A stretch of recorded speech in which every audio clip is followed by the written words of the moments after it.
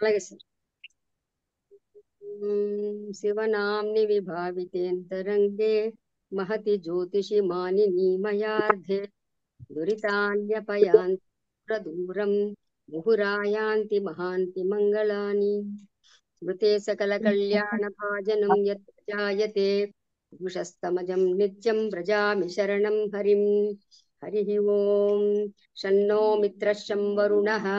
Show भवत्वर्यमा शन्न इंद्रो बृहस्पति शो विष्णुक्रम नमो ब्रह्मणे नमस्ते वायो त्वमेव प्रत्यक्षं ब्रह्मासि त्वमेव प्रत्यक्षं ब्रह्म वदिष्यामि ऋतं वदिष्यामि सत्यं वदिष्यामि तन्मामवतु तद्वक्तारमवतु अवतु माम् अवतु वक्तारम्। ॐ शान्तिः शान्तिः शान्तिः। सहनाववतु सहनौ भुनक्तु, सह वीर्यङ्करवावहै। तेजस्विनावधीतमस्तु मा विद्विषावहै। ॐ शान्तिः शान्तिः शान्तिः। यश्चन्दसा वृषभो विश्वरूपः चन्दोऽभ्योजमृतात् सम्बभूव समेन्द्रो मेधया स्पृणोतु। अमृतस्य देवधारणो भूयासं शरीरं मे विचर्षणं जिह्वा मे मधुमत्तमा, कर्णाभ्यां भूरिविश्रुवं ब्रह्मणः कोशोऽसि मेधया पिहितः। श्रुतं मे गोपाय, ॐ शान्तिः शान्तिः शान्तिः। अहं वृक्षस्य रेरिव कीर्तिपृष्टं गिरेरिव ऊर्ध्वपवित्रो वाजिनीव स्वमृतमस्मि द्रविणगं सुवर्चसं सुमेधा अमृतोक्षितः इति त्रिशङ्कोर्वेदानुवचनम्। ॐ शान्तिः शान्तिः शान्तिः। पूर्णमदः पूर्णमिदं पूर्णात् पूर्णमुदच्यते। पूर्णस्य पूर्णमादाय पूर्णमेवावशिष्यते। ॐ शान्तिः शान्तिः शान्तिः। आप्यायन्तु ममाङ्गानि। वाक्पाणि चक्षुश्रोत्रमथो बलमिन्द्रियाणि च सर्वाणि सर्वं ब्रह्मोपनिषदम् माहं ब्रह्म निराकुर्याम् मा मा ब्रह्म निर्माकरोत् निराकरणमस्म निराकरणमे अस्तु तदात्मनि निरतेय उपनिषत्सु धर्माः ते मयि सन्तु ते मयि सन्तु ॐ शान्तिः शान्तिः शान्तिः वाङ्मे मनसि प्रतिष्ठिता मनो मे वाचि प्रतिष्ठितम् आविराविर्मयेधि वेदस्य माणीस्तः श्रुतं मे मा प्रहासीः। अनेनाधीतेनाहोरात्रान् सन्दधामि। ऋतं वदिष्यामि, सत्यं वदिष्यामि। तन्मामवतु, तद्वक्तारमवतु। अवतु माम् अवतु वक्तारम्। ॐ शान्तिः ॐ भद्रं नोऽपि वातय मनः। ॐ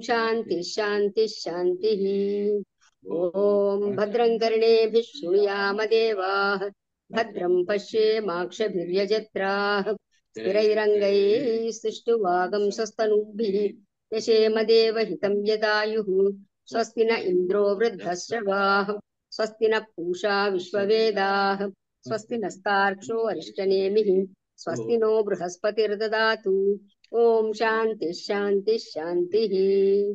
ॐ नमो ब्रह्मादिभ्यो ब्रह्मविद्यासम्प्रदायकर्तृभ्यो वंशऋषिभ्यो नमो गुरुभ्यः सर्वोपप्लवरहितप्रज्ञानगणः प्रत्यगर्धो ब्रह्मैवाहमस्मि अदीहि भो भगवः सदाशिवसमारम्भाम् शङ्कराचार्यमध्यमाम् अस्मदाचार्यपर्यन्ताम् वन्दे गुरुपरम्पराम् नारायणम् पद्मभुवम् वसिष्ठम् शक्तिम् च तत्पुत्रपराशरम् च दासं शुकं गौडपदं महान्तं। गोविन्दयोगीन्द्रमधास्य शिष्यं। श्रीशङ्कराचार्यमधास्य पद्मपादं च हस्तामलकं शिष्यं। तन्तोटकं वार्तिककारमन्यान्। अस्माद्गुरून् सन्ततमानतोऽस्मि। श्रुतिस्मृतिपुराणानाम् आलयं करुणालयम् नमामि भगवत्पादं शङ्करं लोकशङ्करं। यदविद्याविलासेन भूतभौतिकसृष्टयः, तं नौमि परमात्मानं सचिदानन्दविग्रहम्। शङ्करं शङ्कराचार्यं केशवं बादरायणं, सूत्रभाष्यकृतौ वंदे भगवन्तौ पुनः पुनः। तत्श्रीदक्षिणामूर्तिस्तोत्रम्। मौन व्याख्या प्रकटित मौनव्याख्या प्रकटितपरब्रह्मतत्त्वं युवानं वरसिष्ठान्ते वसदृषिगणैरावृतं ब्रह्मनिष्ठैः। आचार्येन्द्रं करकलितचिन्मुद्रमानन्दमूर्तिं स्वात्मा रामं मुदितवदनं दक्षिणामूर्तिमीडे विश्वं दर्पणदृश्यमाननगरी तुल्यं निजान्तर्गतम् पश्यन्नात्मनि मायया बहिर्वोद्भूतं यथा निद्रया। यस्साक्षात् कुरुते प्रबोधसमये स्वात्मानमेवाद्वयम् तस्मै श्रीगुरुमूर्तये नम इदम् श्रीदक्षिणामूर्तये। बीजस्यान्तरिवां कुरो जगदिदं प्राङ्निर्विकल्पं पुनः माया कल्पितदेशकालकलना वैचित्रचित्रीकृतम्। मायावीव विजृम्भयत्यपि महायोगी वयस्वेच्छया। तस्मै श्रीगुरुमूर्तये नम इदम् श्रीदक्षिणामूर्तये। यस्यैव स्फुरणं सदात्मकमसत्कल्पार्धगं भासते। साक्षात् तत्त्वमसीति वेदवचसा बोधयच्चाश्रितान् यः साक्षात्करणात् भवेन्न पुनरावृत्तिर्भवाम्भोनिधौ। तस्मै श्रीगुरुमूर्तये नम इदं श्रीदक्षिणामूर्तये। नानाचिद्रघटोदरस्थितमहादीपप्रभाभास्वरम् ज्ञानं यस्य तु चक्षुरादिकरणद्वारा बहिस्पन्दते जानामीति तमेव भान्तमनुभाते तत्समस्तं जगत्। तस्मै श्रीगुरुमूर्तये नम इदं श्रीदक्षिणामूर्तये देहं प्राणमपीन्द्रियाण्यपि चलां बुद्धिं च शून्यं विदुः स्त्रीबालान्धजडोपमास्त्वहमिति भ्रान्तावृशं वादिनः मायाशक्तिविलासकल्पितमः व्यामोहसंहारिणे तस्मै श्रीगुरुमूर्तये नम इदं श्रीदक्षिणामूर्तये राहुग्रस्तदिवाकरेन्दुसदृशो मायासमाच्छादनात् सन्मात्रः करणोपसंहरणतु। भूप्सुषुप्तः पुमान् प्रागस्वाप्स्यमिति प्रबोधसमये यः प्रत्यभिज्ञायते। तस्मै श्रीगुरुमूर्तये नम इदं। श्रीदक्षिणामूर्तये बाल्याद्विश्वपि जाग्रदादिषु तथा सर्वास्वस्थास्वपि व्यावृत्ता स्वनुवर्तमानमहमित्यन्त स्फुरन्तं सदा। स्वात्मानं प्रकटीकरोति भजतां, यो भद्रया मुद्रया। तस्मै श्रीगुरुमूर्तये नम इदं श्रीदक्षिणामूर्तये। विश्वं पश्यति कार्यकारणतया। स्वस्वामि सम्बन्धतः शिष्याचार्यतया तथैव पितृपुत्राज्यात्मना भेदतः स्वप्ने जाग्रति वा य एष पुरुषो माया परिभ्रामितः। तस्मै श्रीगुरुमूर्तये नम इदं श्रीदक्षिणामूर्तये। भूरं व्यांसनलो निलोम्बरमहर्नाथो हिमांशुः पुमान् इत्याभाति चराचरात्मकमिदं। यस्यैव मूर्त्यष्टकम् नान्यत् किंचन विद्यते विमृशतां यस्मात् परस्माद् विभो। तस्मै श्रीगुरुमूर्तये नम इदं श्रीदक्षिणामूर्तये। सर्वात्मत्वमिति स्फुटीकृतमिदं। यस्मादमुष्मिन् तेनास्य श्रवणार्थदर्धमननात् ध्यानाच्च सङ्कीर्तनात् सर्वात्मत्वमहाविभूतिसहितं स्यादीश्वरत्वं स्वतः। सिद्धे तत्पुनरष्टधा परिणतं चैश्वर्यमव्याहतम् वटविटपि समीपे भूमिभागे निषण्णं। सकलमुनिजनानां ज्ञानदातारमारात्। दक्षिणादेव जनन मरण दुख छेदी चिद्रम वटतरोर्मूले वृद्धाशिषा गुरुर्ध्वा गुरोस्तु मौनम् व्याख्यानम् शिष्यास्तु छिन्नसंशयः। निधये सर्वविद्यानाम् विषजे गुरवे सर्वलोकानां दक्षिणामूर्तये नमः। ॐ नमः प्रणवार्धाय शुद्धज्ञानैकमूर्तये। निर्मलाय प्रशान्ताय दक्षिणामूर्तये नमः।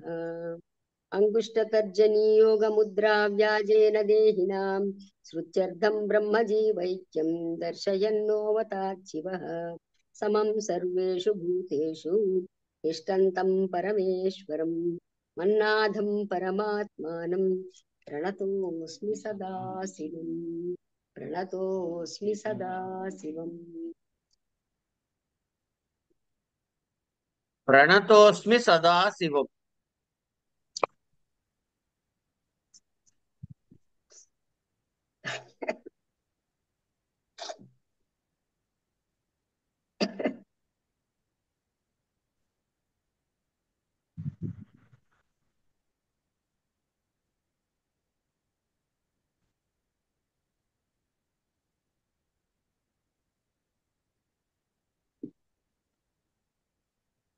ఇంకా జాగ్రత్తగా ఒక పద్దెనిమిది పేజీల గ్రంథంలోకి వచ్చాం. ఆ? ఒక విధంగా ఆనందం ఒక విధంగా ఏంటో బెంగ అయిపోతుంది అప్పుడే భగవద్గీత అని. మొదలు పెట్టాం సార్. మొదలు పెట్టాం కదా ఆపలేదు కదా బెంగ అదే. భగవద్గీతలో అది బాగా లింక్ ఉంది గురువు గారు మీరు చెప్పే వేదం. చాలా అసలు ఎంత మీ అందరికి ఎన్నిసార్లు కృతజ్ఞతలు చెప్పినా సరిపోదు. బాబోయ్. నిజంగా లేకపోతే నేను. మాత్రం చదివే వాస్తవం చెబుతున్నాం. ఎందుకు ఆపుతా ఉన్నాడు? రికార్డింగ్ ఇది ఎంత సోది. రికార్డింగ్ ఎందుకు? అదే కదా. ఉమ్. ఆ, ఎక్కడ? ఒక వెయ్యి పన్నెండో పేజీ అమ్మా. అవిద్యాత్మకత్వ అమ్మా? అదే పూర్వపక్షం వాళ్ళు క్వశ్చన్ అయిపి ఆపేస్తే సమాధానం రేపు చూద్దామన్నారు మొన్న. అదే. అవిద్యాత్మక అవిద్యాత్మకత్వాచ్చ దేహాభిమానస్య తన్నివృత్తౌ దేహానుపపత్తేః సంసారానుపపత్తిః దేహాది సంఘాతే ఆత్మాని ఆత్మాభిమానః అవిద్యాత్మకः. నహి లోకే గవాదిభ్యः అన్యः అహం అన్యే గవాదయ ఇది జానన్. తేషు అహమితి ప్రత్యయం మన్యతే కశ్చిత్. అజానంతు స్థాణౌ పురుష విజ్ఞానవత్ అవివేకత దేహాది సంఘాతే కుర్యాత్. అహమితి ప్రత్యయం న వివేకతో జానన్. ఎస్తు ఆత్మా వై పుత్రనామాసి ఇది పుత్రే అహం ప్రత్యయ. స जन्य जनक जन्यजनकसम्बन्धनिमित्तः गौणः गौणेन च आत्मा, आत्मना परमार्थ परमार्थकार्यं न शक्यते गौण गौणसिंहाग्निभ्यां मुख्य सिंह सिंहाग्नि कार्यवत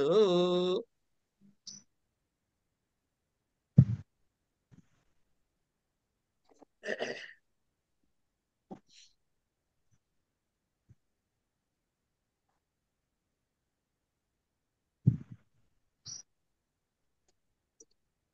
ఏమయ్యా ఈ సంసారం అంతా కూడా అవిద్యాకృతము? అందుకని ఈ సంసారం అవిద్య నివర్త్యం అనటం వల్ల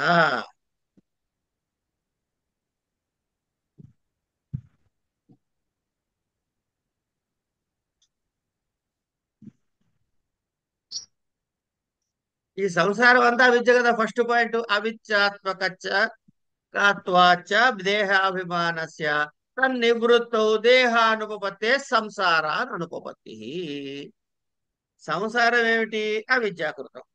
మరి ఆ సంసారము విద్య దేహాభిమానం ఏమైనప్పుడు? ఆ అవిద్యాత్మకమైనది కనుక ఈ దేహాభిమానం ఎప్పుడు నివృత్తమవుతుంది? దేహాభిమానం ఎప్పుడు నివృత్తమవుతుందో అప్పుడు దేహం కూడా సంభవించదు. దేహమే లేదనుకోండి మీకు. అప్పుడు సంసారం ఎక్కడుంది ఇంకా నమోహం కనుక సంసారము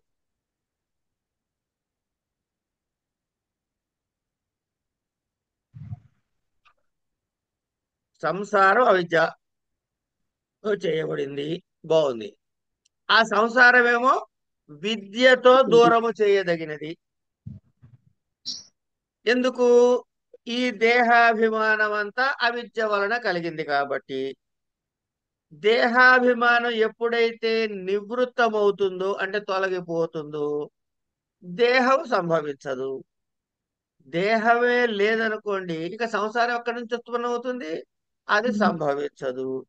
కనుక నాయన సంసారము విద్యా నివర్త్యము అన్నారు. అంటే విద్య వల్ల విద్య అంటే జ్ఞానం. జ్ఞానము వల్ల సంసారము నశిస్తుంది. అయితే ఇక్కడ ప్రశ్న వేసేందుకు అవకాశం ఉంది. ఏ ఇన్నాళ్ళు నాకేమో ఏం చెప్పావు? ఈ సంసారం అంతా ధర్మ అధర్మాల వల్ల ప్రాప్తిస్తుంది. అని చెప్ప చెప్పుకోవచ్చు ధర్మం చేస్తావు అధర్మం చేస్తావు. చేశావు. దానికో పుణ్యమో పాపమో ఫలం వచ్చింది వచ్చింది. అది అనుభవించాలి అనుభవిద్దాము. అందుకని సంసార జన్మలు ఎత్తుతున్నావు. కనుక సంసారం ఎందుకు కారణం ఏమిటి? ధర్మాధర్మములైనటువంటి వాటి వల్ల. అని ఇంతవరకు చెప్పి ఇప్పుడు ఉన్నట్టుండి అవిద్య వల్ల సంసారం వచ్చిందంటావేంటయ్యా అని అంటావేమో? అనలేదు పాప ఆయన. అంటావేమో చెప్తా అది కూడా చెప్తా విని అంటున్నాడు ఏమిటా? ఈ దేహేంద్రియాదుల పైన మనకి ఆత్మాభిమానం అనేదైతే అనుకుంటున్నాము. నేను ఆత్మ నేను దేహము. నేను దేహము అని అనుకుంటున్నాము. ఆత్మ నేను దేహము అనుకుంటుంది. అని ఉన్నప్పుడు ఇది అవిద్య వల్ల కలిగినది కదా. ఇప్పుడు నా పేరు మా తల్లిదండ్రులు పెట్టిన పేరు అనంతకృష్ణ. నేను ఎంకట పిచ్చాను అనుకోండి అటు కుదురుతుంది? అనుకున్నాను అనుకోండి కాసేపు. అది నా అజ్ఞానమేగా. కనుక అవిద్య వల్ల దేహాదుల పైన ఆత్మాభిమానం కలుగుతుంది. అంటే ఏమైంది? ఆత్మకి ఈ ధర్మ అధర్మాది కర్తృత్వము. అంటే ఈ ఆత్మయే ఈ దేహమే ఈ దేహాది సంఘాతమే ఈ దేహాది సంఘాతానికి ఆత్మ అని పేరు పెట్టుకున్నాం ఈ దీనికి మనం ఒక కర్తృత్వాన్ని ఆపాదిస్తున్నాం. ఈ కర్తృత్వం ఆత్మకు ఎందుకు ఆపాదిస్తున్నావయ్యా? అవిద్య వల్ల అజ్ఞానం వల్ల. కనుక అవిద్య లేకపోతే నువ్వు కర్మలకి చేసేందుకు అవకాశమే లేదు. నీకు అవిద్య లేకపోతే కర్మలు చేయటానికి దేహాది అభిమానమే ఉండదు. అందుకని ఆత్మకి దేహేంద్రియాదులతో దేహేంద్రియాదుల యందు అహం అహం అనే అభిమానము అవిద్య యొక్క కారణము.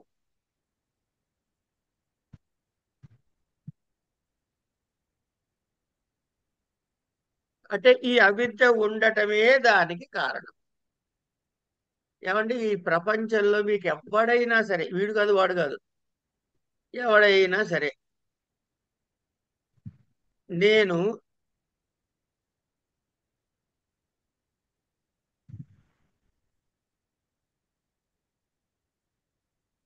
ప్రపంచంలో ఎప్పుడైనా సరే ఏమంటాడు? నేను ఆ గోవు ఇత్యాది గవాదులు అర్థం అంటే ప్రప- మిగతా వాటి గురించి. అంటే వేరువాణ్ణి.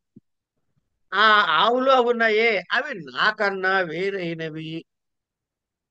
అనే కదా అంటాడు. అనుకున్నవాడే ఆ గోవులు అందులో నేనే అహం నేనే అని అనుకోడు. ఏమంటాడు ఇది? ఇదేమిటి అజ్ఞానం అయితే ఏమంటాడు?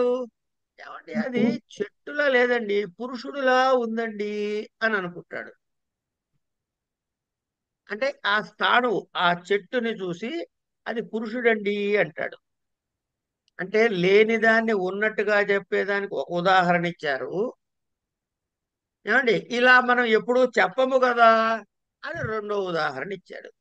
ఎప్పుడైనా సరే నువ్వు ఆవుల్ని వాటిని చూపించి అది నేనే అని అన్నావయ్యా? అంటే అనలేదండి అంటాడు. అంటే అనవు. ఇక్కడ ఏమంటున్నావు? చెట్టుని చూసి మోడుని చూసి మనిషి అంటున్నావు అనట్లేదా కాదు సరిగ్గా తెలియకపోతే? అంటున్నానండి. అది అంటే ఏమైంది ఇక్కడ? ఒక వ్యతిరేక ఉదాహరణ ఒక అన్వయ ఉదాహరణ. దీన్ని అన్వయ వ్యతిరేకములు అంటారు. ఈ ఎగ్జాంపుల్స్ ఇవ్వటాన్ని అన్వయంతో ఇచ్చే దృష్టాంతం ఒకటి వ్యతిరేక దృష్టాంతం ఒకటి రెండు చూపిస్తున్నారు ఇక్కడ అంతే.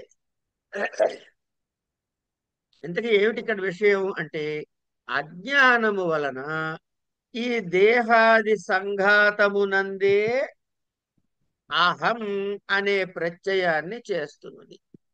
దీనివల్ల అజ్ఞానం వల్ల. వివేకము కలిగింది అనుకోండి ఆ వివేకం వల్ల ఏమవుతుంది? అంటే ఈ దేహేంద్రియాలు నాకంటే భిన్నమైనవి అని తెలుసుకుంటాడు. అలా ఎవడైతే తెలుసుకున్నాడో ఇప్పుడు వాడు ఇందాక చెప్పినట్టు ఆవులంటే నేకంటే వేరు ఆవుల కంటే నేను వేరు అన్నట్లుగానే ఇప్పుడు వీడు ఏమనుకుంటాడు ఈ దేహాది సంఘాతమైనటువంటి అహం అనే ప్రత్యయాన్ని వాడు ఇంకా చెయ్యడు. ఈ దేహాదులు వేరు నేను అనే అహం అనే నేను వేరు అనే జ్ఞానం వాడికి కలుగుతుంది ఎప్పుడు? వివేకము కలిగితే. ఇప్పుడు ఇంకో మాట అంటున్నారు. ఏమైనా నువ్వు ఏమన్నావు ఆత్మ వైపుత్ర నామాసి అన్నావు అంటే కొడుకు నే నేనే నా కొడుకు అని అన్నాడుగా ఆత్మావై పుత్ర నామాసి ఆ కొడుకు నేనే అంటున్నావు. బాగుంది. కొడుకు అన్నం తింటే నీ కడుపు నిండిందా? అన్ని పనులు కొడుకు చేస్తే నువ్వు చేసినట్టు అవుతున్నాయా? అంటే ఆ మాట ఎందుకన్నావు మరి? అంటే అది గౌణము. ముఖ్య భావన కాదు.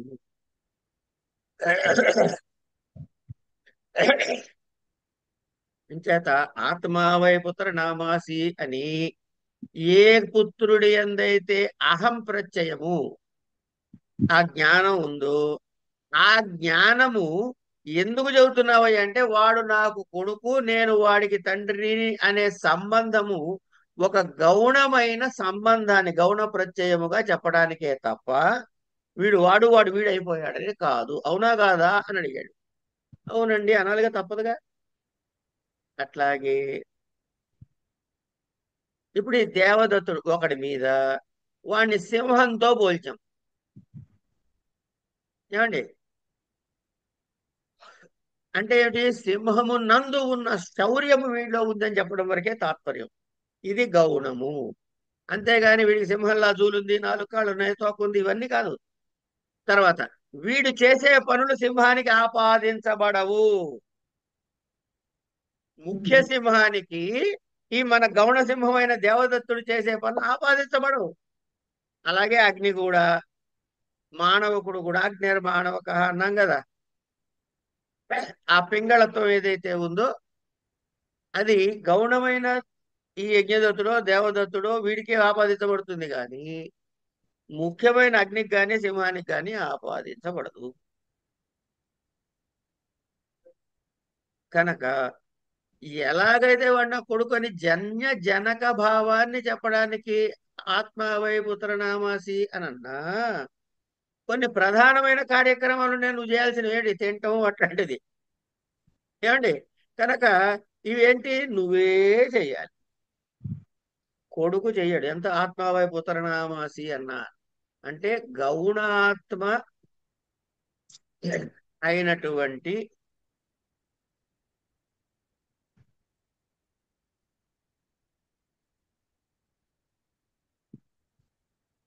గౌణాత్మ అయినటువంటి పుత్రాదుల యందు ముఖ్యాత్మ అయినటువంటి ఈ భోజన స్వకీయమ నీవు చేయాల్సినవన్నీ ఆపాదించటం కుదరదు.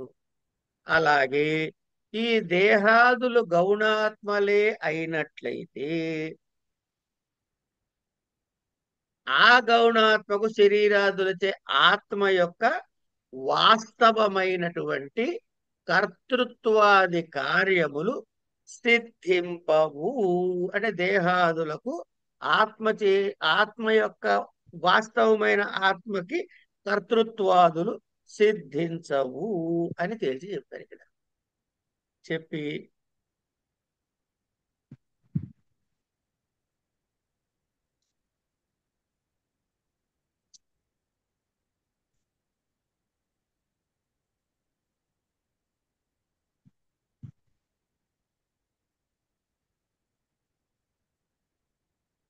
అదృష్ట విషయ చోదనా ప్రామాణ్యాత్ అదృష్ట విషయ చోదనా ప్రామాణ్యాత్ ఆత్మకర్తవ్యం గౌణై దేహేంద్రియాత్మభిః క్రియతే ఇది చేత్ న అవిద్యాకృతాత్మకత్వాత్ తేషాం న గౌణः ఆత్మనः ఆత్మానः దేహేంద్రియాయు దేహేంద్రియాదయः కథం తర్హి మిథ్యా ప్రత్యయేనైవ అనంగస్య संगत्या आत्मत्व अपाद्यते। तद्भावे भावात, तदभावे चाभावात अविवेक अविवेकिनाम अज्ञान काले बालानां दीर्घम दीर्घमहम् अज्ञान काले बालानां दृश्यते। दीर्घः अहं, गौरः अहम् इति देहादिसङ्घाते अहं प्रत्ययः। न तो विवेकिनाम् అన్యः అహం దేహాది సంఘాతాత్ ఇది జ్ఞానవతాం తత్కాలే దేహాది సంఘాతే అహం ప్రత్యయः భవతి తస్మాత్ మిథ్యా ప్రత్యయాభావే అభావాత్ తత్కృతः ఏ కృతः ఏవ గౌణः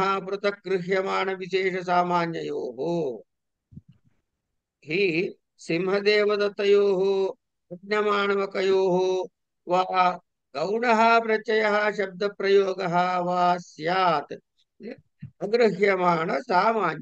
ప్రత్యయः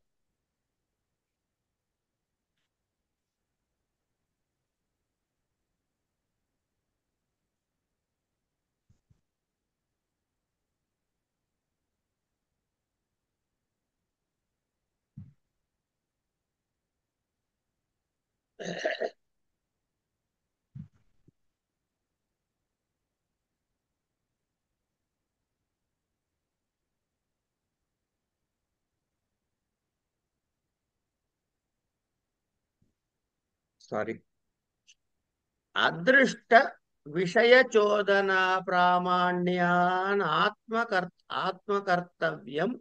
गौण देहेन्द्रियात्मा क्रियता ఇది చేత్ న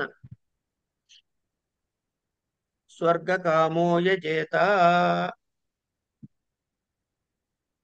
అని మనకి శాస్త్రమునందు వేదమునందు ఒక వాక్యం కనపడుతోంది.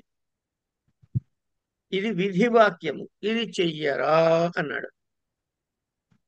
స్వర్గమును కోరిన వాడు ఇగో ఫలానా చెయ్యి అన్నాడు. ఇది విధివాక్యం మనకు కనబడుతుంది.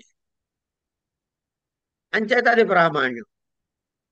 అట్లాగే ఆత్మదేహాదుల కంటే వ్యతిరిక్తము వ్యతిరిక్తము అనే జ్ఞానము వలన కేవల ఆత్మకి ఆత్మ దేహాదుల కంటే భిన్నము కనుక వ్యతిరిక్తము కనుక కేవలం ఆత్మకి కర్తృత్వము లేదు కనుక ఏమండి? ఆత్మ చేయవలసిన ఆత్మ కర్తవ్యమైనటువంటి కర్మ అంటే ఆత్మ కర్తృత్వాన్ని అంటపెడుతున్నాం ఇక్కడ గమనించండి. ఆత్మ కర్తవ్యమైన కర్మని అది గౌణమైనను దేహేంద్రియాదుల చేత చేయబడుతోందయ్యా. అంటే ఏంటిట? ఈ దేహేంద్రియాదులు చేసి ఇగో ఆత్మ నీ బదులు నేను చేశానయ్యా ఈ ఫలితాన్ని నువ్వు తీసుకొని ఆత్మకు ఉపయోగుతున్నావు అని అనుకోండి. ఒక విధంగా చెప్పాలంటే లైన్లో కూర్చుని మీరు టికెట్ తీసుకొస్తే నేను దర్శనానికి పోయినట్టు. ఏమండి? అయితే ఇలా శంకించకూడదు నాయన అన్నాడు. ఎందుకుట? ఏమంటే దేహం వేరు ఆత్మ వేరులో బాగుంది.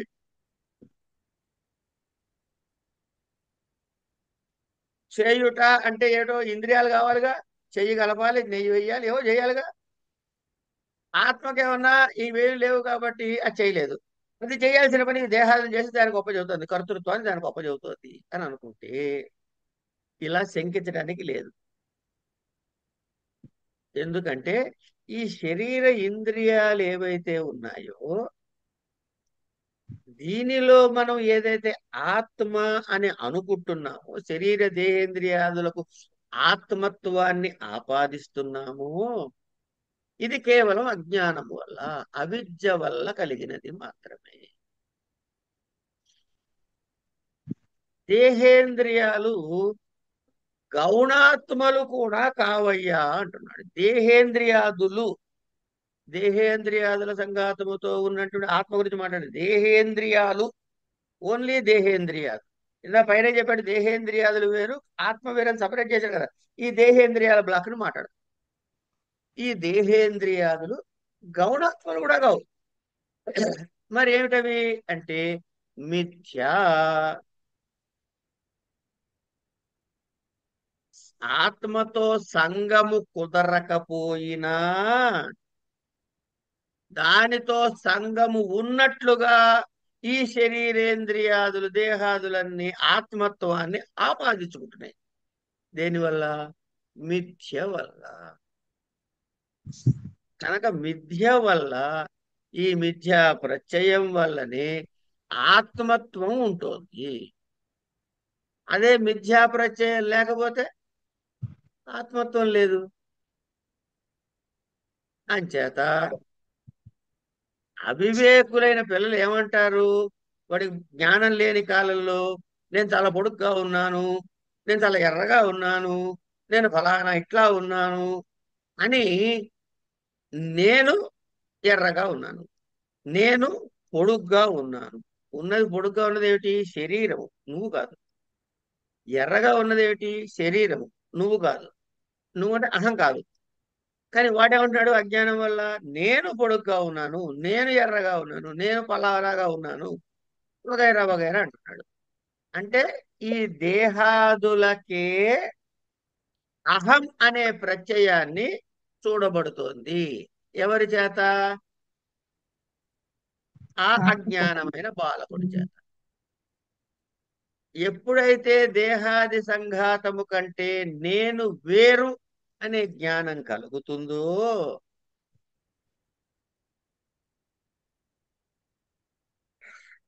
ఎప్పుడైతే ఈ దేహాదుల కంటే నేను వేరు అనే జ్ఞానం కలుగుతుందో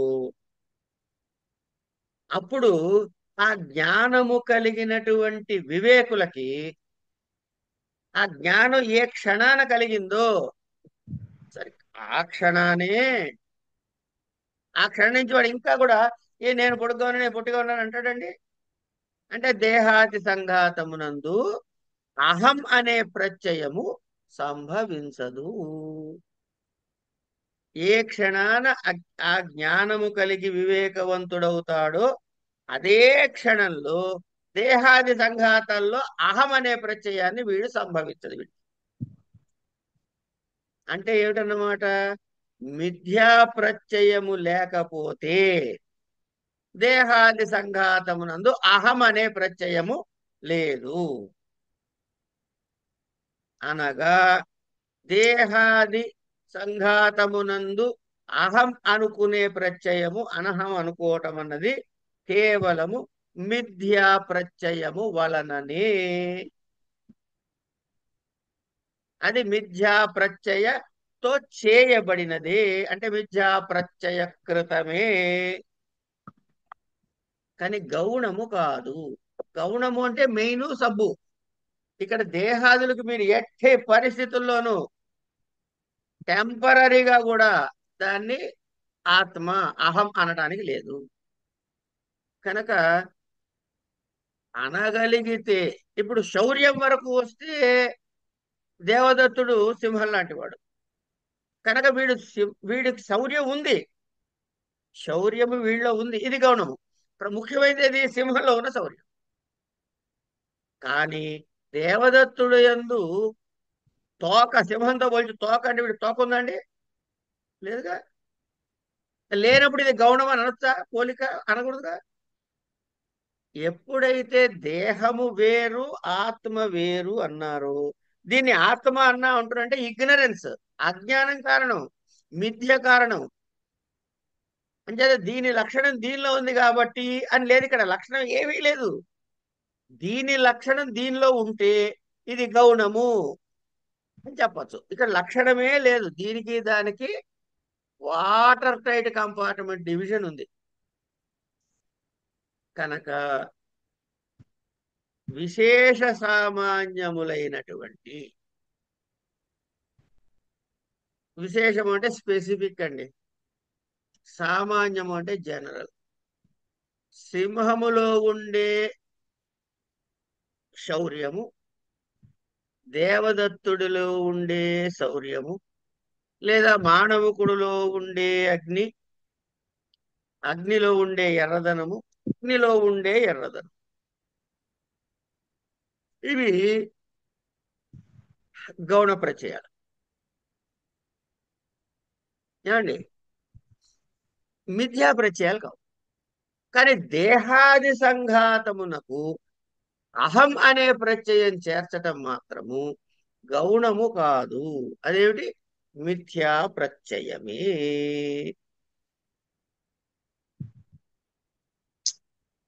కనుక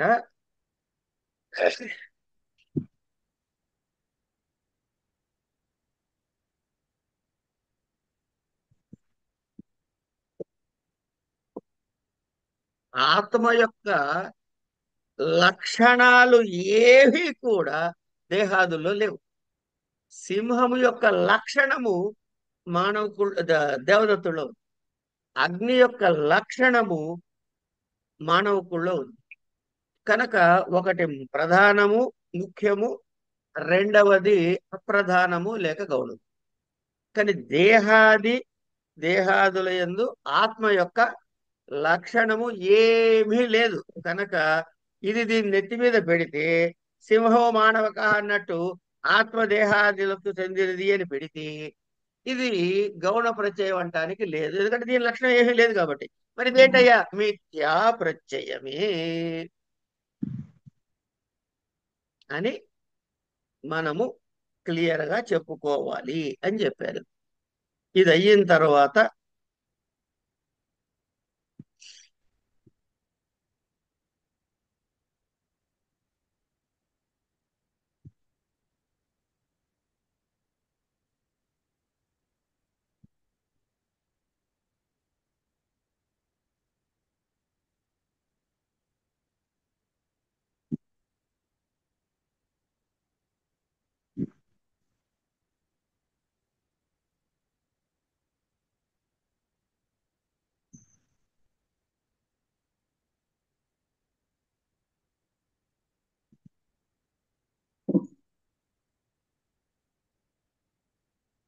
ఇవి రెండు దాచుకుందాంలేండి. రేపటికి ఎల్లుండికి దాచుకుందాం కొంచెం.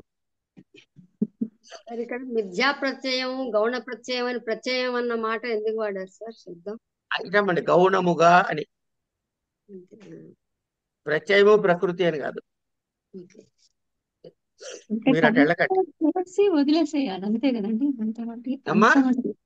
ఆ కంపారిజన్ కోసం ఆ మాట వాడుకుని ఆ గౌణాన్ని వదిలేయాలి అంతటితో. అంతే ఒకసారి నిజం తెలిసిన తర్వాత అబద్ధం ఎందుకు ఉంటుందండి? అది అది మాయమైపోతుంది ఆ గౌణం. మనకి నిజ జీవితంలో కూడా అనుభవమే కదా? వస్తూ ఉంటాయి ఇలాంటి నిన్న మాటలు. నిన్న నిన్న ఒక ఆయన నిన్న ఒక ఆయన చెప్పాడు. ఉమ్, ఎంత ఆక- సరదాగా చెప్పాడు. ఊరికే నవ్వి మ- వదిలేసుకునేదే. ఎంత ఆకలేస్తున్నా ఎంత గబగబ గబగబా కూరేసు తినేసి పప్పేసు తినేసి పచ్చడేసు తినేసి పెరిగేసి తినేసేస్తున్నాం అని అనుకున్నా అది ఇడ్లీ పిండో పెరుగో తెలుసుకోవాలి నాయన అన్నాడు. ఆయనకి విపరీతమైన ఆకలి ఏం చేశాట ఫ్రిడ్జ్ లోంచి గబగబా తీసి ఇడ్లీ పిండి వేసుకున్నట్టు అన్నంలో. ఇక్కడ వరకు బానే ఉంది మిథ్యే నాలుగు పెట్టుకోగానే అది ఇడ్లీ పిండి అని తెలిసింది. అంతే కదండి? ఇక తర్వాత నుంచి అది పెరగన అన్నం తింటాడు ఆయన? తినడు కదా? ఇది కూడా అంతే. ఒకసారి ఈ దేహాభిమానం ఆత్మ ప్రత్యయం కాదు అని జ్ఞానం కలిగితే మళ్ళీ ఎవడైనా సరే తింటాడా చేస్తాడా అట్లా అని? అదే మోక్షం కూడా. ఇక మీరు దానికి ఎన్ని పేర్లైనా పెట్టండి. అది- అంత తొందరగా వచ్చేది కూడా కాదని తెలిసిపోయింది. ఏమండి? ఇప్పుడు ఊరికే మాట వరుసగా అంటున్నా మీకు ఎంత వయసో నాకు తెలియదు అందరూ ఎట్టి పరిస్థితుల్లోనూ అరవైకి ఎనభై మధ్య బ్లాక్లోనే ఉన్నవాళ్ళం. అరవై టు ఎనభై మధ్య బ్లాక్లో ఉన్న ఉన్న నలుగురు కూడా. అయితే ఈ పోగేసుకున్న అజ్ఞానం ఈ అరవై డెబ్బై ఏళ్ళదేనా? ఎన్ని జన్మలు వెనకాల బ్రాడ్ ఫార్వర్డ్ ఉంది? ఆ సంచి సైజ్ ఎవరికైనా తెలుసా? అంత తగలయ్యాలి దాన్ని.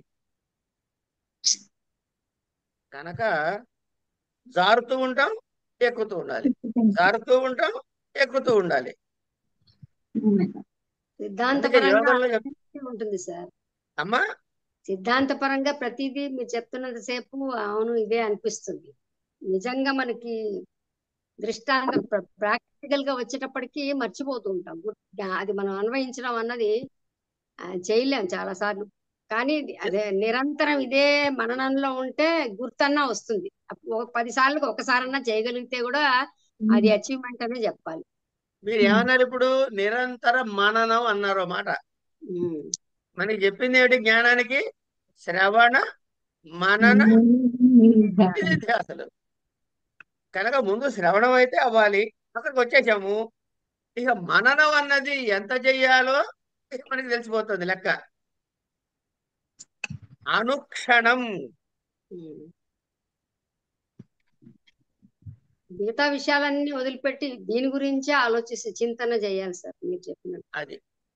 కోపం కూడా రాకుండా ఉండగలగటం అనేది ఒక పెద్ద ఐ మీన్ ఒక ప్లస్ పాయింట్ అది మనిషికి. ఎక్కడ మనం బ్యాలెన్స్డ్గా ఉండగలిగితే అసలు ఎవడేమన్నా కూడా వదిలేయగలగాలి. అప్పుడు మనకి రియాక్షనే ఉండకూడదు. ఇవన్నీ జీవిత పాఠాలు. అంతే. అది అది అది మంచుకోగలిగితే అది తెచ్చుకోగలి ఒక గ్లాసులో మంచినీళ్ళు పెట్టుకుని ఎవరేమన్నా కూడా మనం కాదు. మనది కాదనుకుని మింగేస్తూ ఉండాలి. ఇప్పుడు మీరు చెప్పారు కదా. ఇప్పుడు మీరు చెప్పిన దానిలో ఒక్క అక్షరం కాదు కదా? పొల్లు కూడా అబద్ధం లేదు. దీన్నే మీకు టెక్నికల్గా చెబితే ఇప్పుడు మీ నోటితోటే మీరు అన్నారు కదా ఇవన్నీ అవసరం వస్తే చాలండి అని. దీన్నే నేను టెక్నికల్గా చెబితే అదే నోటితో మీరు ఏమంటారు అబ్బో అవన్నీ చాలా కష్టం అండి అంటారు. మీరు నిజానికి మీరు చెప్పిందే నేను చెబుతున్నా. ఏమిటది? సాధన చతుష్టయ సంపత్తి. అందులో శమాది షట్క సంపత్తి. తితిక్ష. తితిక్ష అంటే ఏమిటి?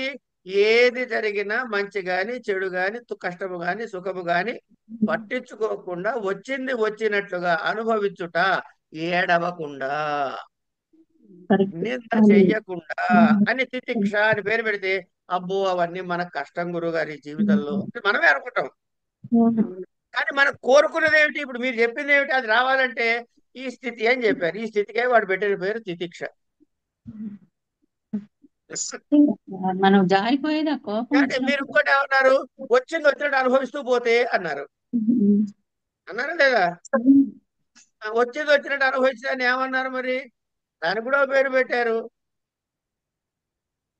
ఏదో అజగర వ్రతం అంటారు.